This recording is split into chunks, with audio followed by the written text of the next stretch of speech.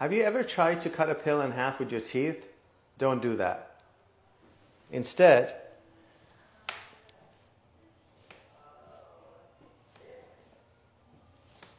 so any size, you can cut it in half by putting it on a flat surface and pushing on the corners.